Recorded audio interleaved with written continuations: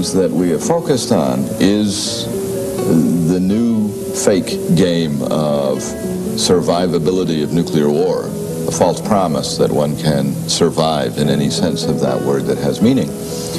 And what the government has been saying for some years now is, okay, we concede that fallout shelters alone aren't good enough, and that if you're in the cities, blast and heat will get you, and that if you're in target areas, blast and heat will get you. But we have another plan.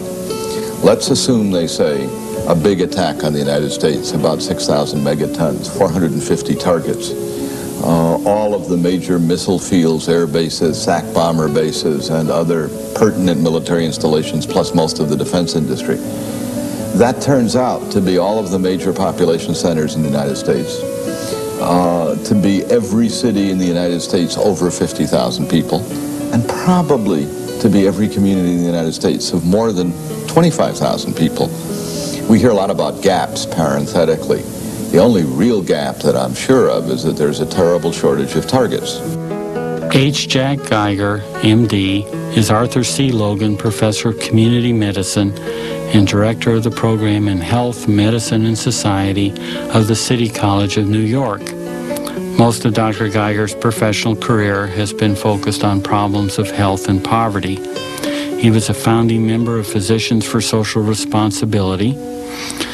In 1982, the Public Health Association of New York gave him its Award of Merit in Global Public Health for tireless efforts toward the prevention of nuclear war. What are the medical effects of nuclear weapons? Well, everybody thinks first when they think of nuclear weapons of radiation, but radiation is only one of the major effects. Uh, the two others, uh, the ones of most concern to people anywhere near where a nuclear weapon explodes, are blasts and heat. Uh, a nuclear weapon, we usually describe them in terms of one megaton, simply because that's the standard unit of currency. What is the effect of a one megaton weapon? Uh, these days, weapons are getting smaller.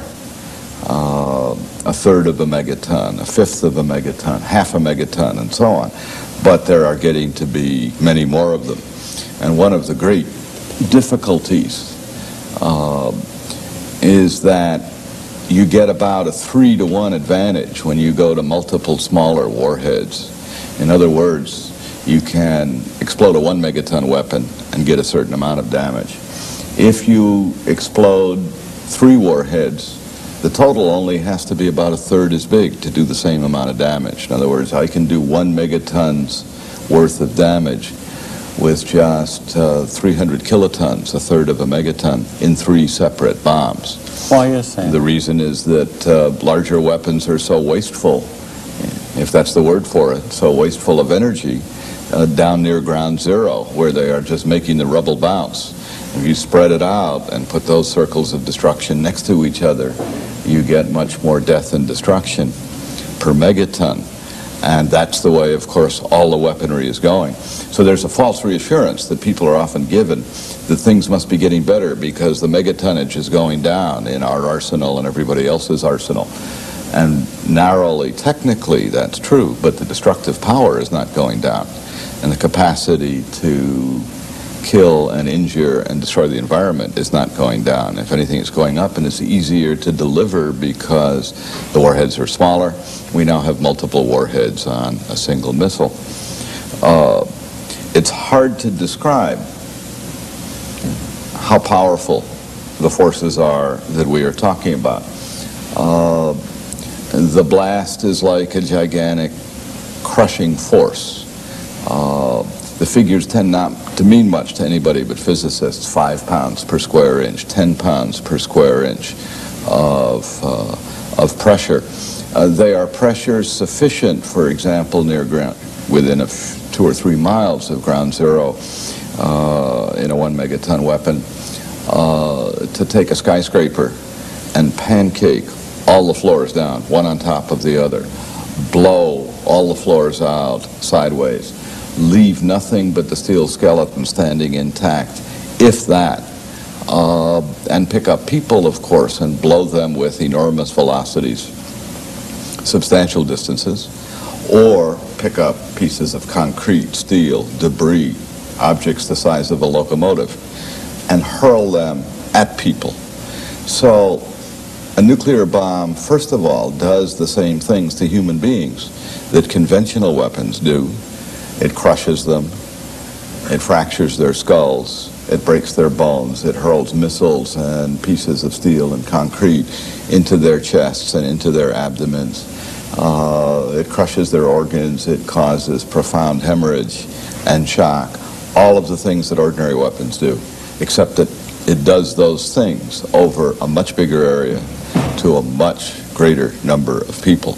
And its effect on the environment is so great, this ability to take the strongest concrete reinforced steel skyscraper and crush it, uh, thereby killing all of the people inside, or collapsing the building onto people who are outside, that the effect of blast alone is much greater than with conventional weapons.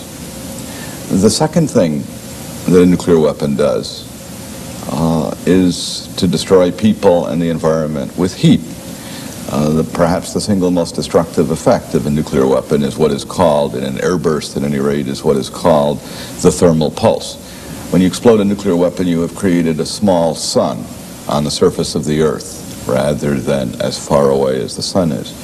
You have temperatures at Hiroshima, and that was a tiny weapon, a firecracker, starting out at ground zero at 3,000 degrees centigrade. Uh, this is a wave of heat that will set the environment and everything in it spontaneously on fire on a clear day as far away as six miles from ground zero. Closer in than that, people simply burn. Their clothing catches fire. Uh, further out than that, trees, the grass outside will burn. If there were drapes here and we were four or five miles from a nuclear explosion, uh, the drapes would burn. This wooden wall would catch fire. The carpeting would burn inside and outside. So that one of the consequences is that of any nuclear explosion over a city is that you will have hundreds of thousands of people with second and third degree burns over 30% of their body surface or more. And then thousands or tens of thousands more burns uh, from people trapped in the wreckage from all of the buildings and environments that are on fire. We need to remember that in all of the United States there are perhaps 2,000 hospital beds specially equipped for treating burn patients. And in one medium-sized city we would have 30 or 40,000 people with those kinds of burns. So trauma from blast and burns, all of that before we even begin to talk about radiation. What radiation does, and it's unique to nuclear weapons as compared to other weapons, uh, is first of all travels long distances so that people in very huge areas downwind from a nuclear explosion or from multiple nuclear explosions of the kind that will be directed at missile fields, air bases, uh, military installations, power plants, nuclear power plants, defense industries, and the like. People in huge areas downwind from them uh, will be affected, will be endangered at least by radioactive fallout. Various kinds of radiation carried in the dust particles that are thrown up, particularly by a ground burst in a nuclear explosion, drifting or blown downwind, fanning out in really very unpredictable ways, depending on which way the wind is blowing and how strong, and a whole variety of other local conditions. Um, and that radiation some of it in the form of what we think of as X-rays, others as fast neutrons, others in other forms, is profoundly damaging to What all is it? biological organisms. What is it about the radiation uh, that's blown on the wind that's so damaging to people? Any kind of radiation is damaging. Uh, let me hasten to add that nobody should be afraid of having a chest X-ray or getting needed medical, diagnostic, or therapeutic radiation because of this.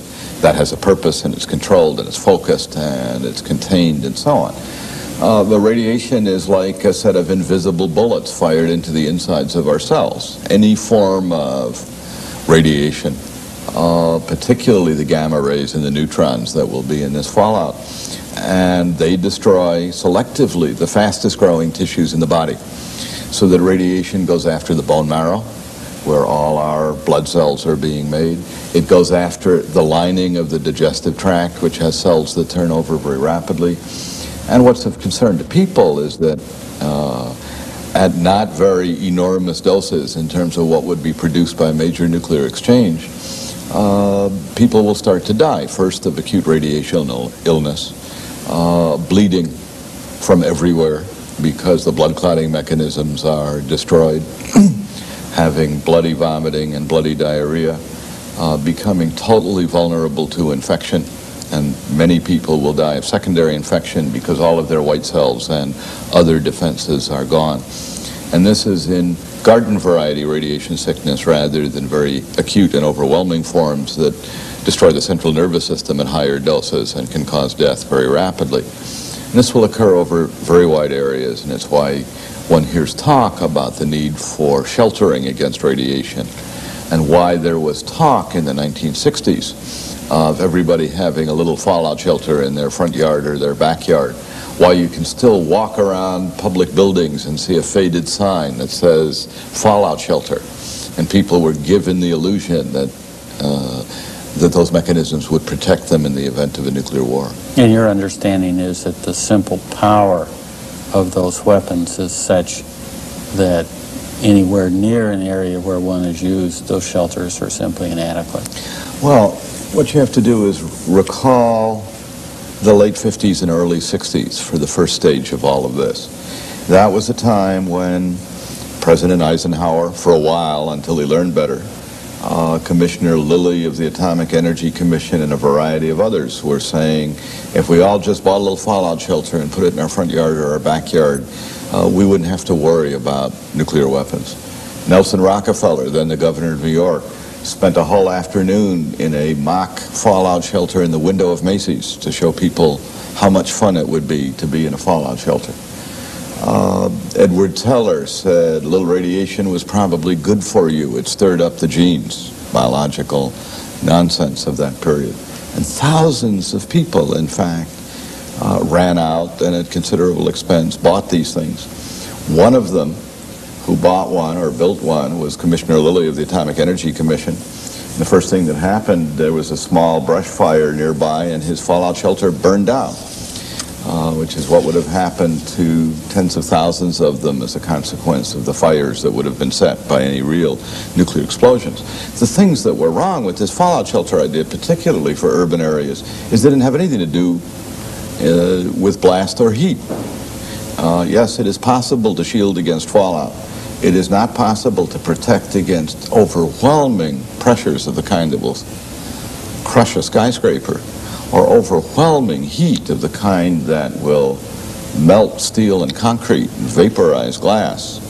Uh, unless one has very expensive, very complicated facilities far underground with all kinds of special steel supporting and frameworks and all kinds of thermal insulation and an independent oxygen supply and a way of ventilating waste gases in the atmosphere and the ability to stay down there for 30 or 60 days. Now, there are some of these kinds of shelters inside of mountains for near Washington for the president and selected high other officials of our government. I presume other governments have done the same thing.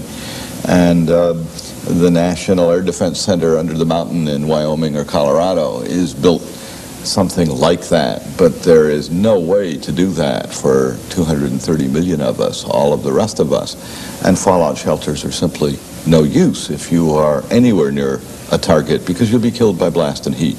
You've divided the civil preparedness planning into four phases in your analysis. What's the evacuation phase intended to do and what are the problems with it? Well, first it might be might make things clearer uh, to explain what this so-called crisis relocation plan is.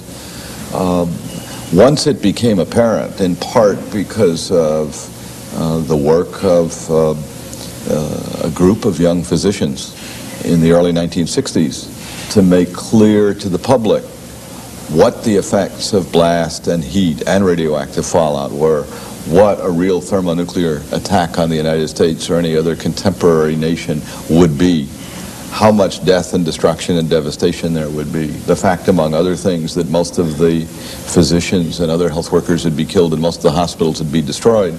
And among all of these millions of wounded, there would be no effective way to give care. After our relative effectiveness in that and in demonstrating that the above ground testing that was going on out in Nevada was in fact depositing iodine, radioactive iodine, and radioactive strontium in the bodies of uh, infants and children in St. Louis and other parts downwind. We got the partial test ban treaty accomplished. This is 1963, and the group of young physicians was uh, an organization called Physicians for Social Responsibility. And we thought we had really done something. In a way, I think we had. And we all got into other kinds of efforts and ventures, and PSR didn't do very much for the next 15 years or so. Unfortunately, nobody stopped building missiles, and nobody stopped building bombs, and nobody stopped improving uh, the ways to deliver them, or their varieties, or their effectiveness. And by the late 1970s, we realized once again suddenly that we had an overwhelming problem. We, Physicians for Social Responsibility, it started again. One of the things that we have focused on is uh, the new fake game of survivability of nuclear war, a false promise that one can survive in any sense of that word that has meaning. And what the government has been saying for some years now is, okay, we concede that fallout shelters alone aren't good enough, and that if you're in the cities, blast and heat will get you, and that if you're in target areas, blast and heat will get you. But we have another plan. Let's assume, they say, a big attack on the United States, about 6,000 megatons, 450 targets. Uh, all of the major missile fields, air bases, SAC bomber bases, and other pertinent military installations, plus most of the defense industry. That turns out to be all of the major population centers in the United States, uh, to be every city in the United States over 50,000 people, and probably to be every community in the United States of more than 25,000 people. We hear a lot about gaps, parenthetically. The only real gap that I'm sure of is that there's a terrible shortage of targets in relation to the number of nuclear weapons that the major powers have. It's hard to find. There are so many now. It's hard to find anything useful to aim them at. The redundancy is so great. So we're all the way down to places of 25,000. Let's assume this kind of an attack.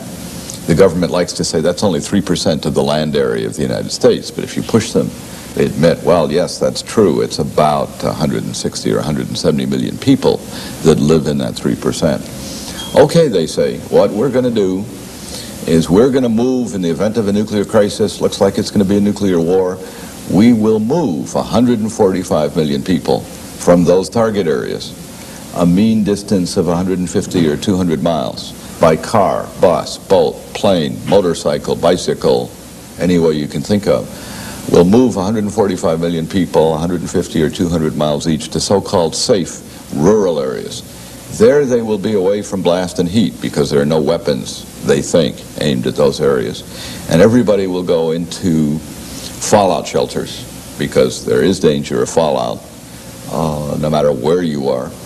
And they will stay there protected from fallout and away from blast and heat until after the war is over.